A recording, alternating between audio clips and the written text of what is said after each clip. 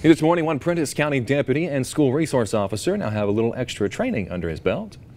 Officer Tyler Reese graduated from the Crisis Intervention Training. This training helps officers learn how to handle people suffering from a mental health crisis.